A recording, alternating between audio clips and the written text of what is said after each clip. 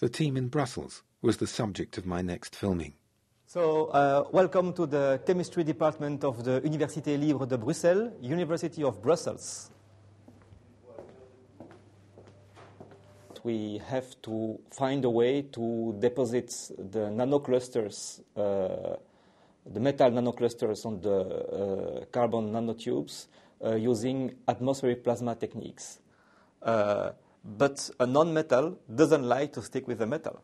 Uh, if you want them to stick together, you need, you need to create an interface, something which is intermediate. Uh, that's the reason why we need to activate the surface. Otherwise, they, these guys don't, don't want to go together. So, uh, à présent, je réduis la distance entre What kind of experiments will you be doing? you asked me what kind of experiments we will do, well, at least at the beginning of the project. Just imagine that this is the, the nanotube, and we have ultimately, this is the carbon nanotube, and we have to deposit on this carbon nanotube very small uh, metal particles, which is in the nanometer range.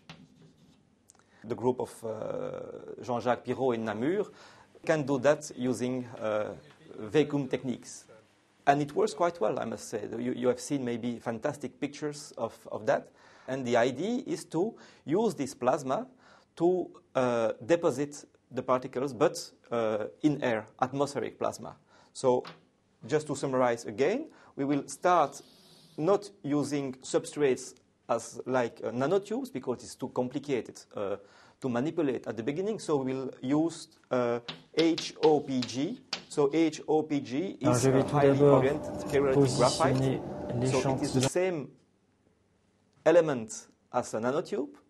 Uh, it's carbon, uh, and it has basically the same kind of structure of uh, a nanotube, but but the advantage is that it's flat. Uh, it's completely flat. Uh, I should even say it is atomic, atomically flat. Uh, then we will use a, a plasma system. Uh, in this torch, we will generate, uh, I should say, ions, uh, with electrons, and neutrals, plus, minus, and n. They will be sent out of the torch, okay? And the gas that will be used uh, is either argon, helium. The first step will be what we call an activation of the surface. So we hope that we will put on the surface active groups that can be oxygen or nitrogen containing groups. So in that way, the surface will be activated. That does mean that the surface will be ready to make a chemical bond with the particles that will, that will reach the surface. Also, we will create small holes in the, in the surface. Uh, strange, uh, the idea that, we, that one wants to create defects on the surface. Well, if you have a defect, you increase the reactivity of a surface. And we will inject using a small tube that will be here. We will inject a molecule that contain the interesting metal. It could be gold, platinum, or stuff like that. So the precursor will be injected this way, like a small droplets. The droplets will be injected there. They will, as you see, interact with the active species coming from the plasma torch, and they will be pushed, I should say actively pushed, so reactively pushed to the surface, uh, and we hope that there will be deposit. So this is the goal that we need to reach. Uh, first on graphite. The interest of having a plasma is that it is a very simple way uh, to, to give energy to particles and then to use the energy given to the particles to make uh, chemistry at room temperature and uh, uh, in a clean way, I should say. Is there a possibility that some new science may come out of this?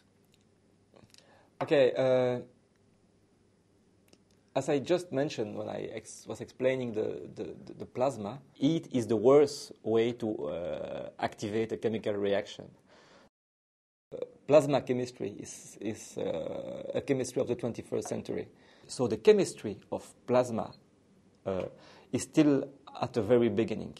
Very beginning. The chemistry in the gas phase is very, very complicated to understand, and it's still, a, it's still the, the beginning of this new chemistry.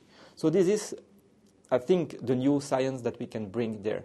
The nano part of this project uh, is also uh, a way to bring new science. We have uh, uh, fantastic new properties uh, of metals at the nanometer scale. just to give you a very brutal example, gold, for instance, gold is known to be non-reactive metal. This is why it is uh, such a valuable metal. Uh, people like to have gold because uh, gold doesn't corrode, uh, gold stays forever. Uh, so gold basically has uh, no chemical interest. It doesn't react. but when, when you decrease the size of gold, when you go to the nano, to the nano size, then suddenly gold starts to have chemical reactivity and then you create new chemistry again uh, because you just decrease the size. And that's fantastic. So this is the two part of new science that we can bring. Tell me about your, yourself. Tell me what kind of person you are. This is a very private question. Speaking about myself, uh, well, uh, I'm 41 years old, uh, and I'm well. I've done quite a, a few a few things in my life. After my PhD, I uh, I went to the army. Uh, at that time in Belgium, we, we had to go to the army uh, for one year. And then after that, I, fi- I found a temporary position uh, at the university. Uh, I like uh, paintings. I like, well, I do some sports. I, uh, I have the, the, chance to live very close to the, to the forest, so I do a lot of jogging uh, uh when when there is no storm like, like today. Uh, and uh, while I have uh, many problems indeed, I like nice cars also. I, I, don't think i am the typical scientist as people can imagine. I, I like I like life uh,